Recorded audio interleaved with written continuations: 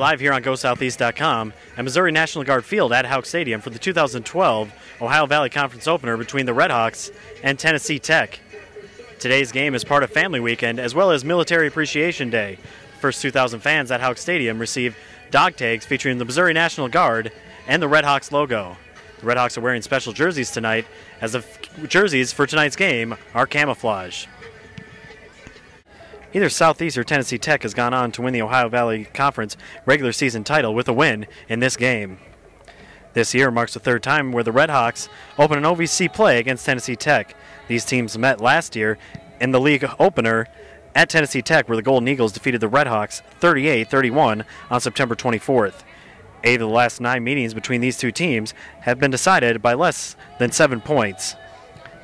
The Redhawks have forced a lot of turnovers, including four against Southern Illinois last week. The Red Redhawks have now forced multiple turnovers in five straight games dating back to last season. For a complete re- recap of today's action, visit GoSoutheast.com